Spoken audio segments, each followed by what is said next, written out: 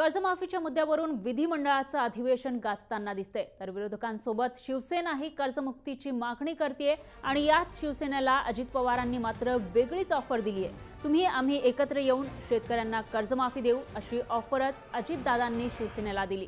तर तुम्ही बासष्ट तर आम्ही ऐंशी ते ब्याऐंशी एकशे पंचेचाळीस मॅजिक फिगर झाली की एकत्र येऊन ठराव मंजूर करू एकदाचं काय ते होऊन जाऊ दे अशी ऑफरच अजितदादांनी शिवसेनेला दिली आहे त्यामुळे राजकीय वर्तुळात मात्र खळबळ उडाली आहे तर सत्तेत असूनही विरोधात राहणारी शिवसेना विरोधकांसोबत हातमिळवणी करणार का? हाच प्रश्न आता निर्माण होतोय.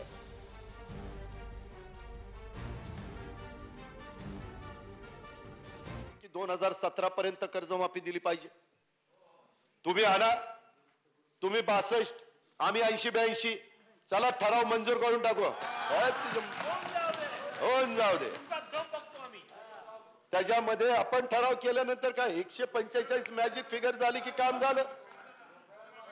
पण आहे का तयारी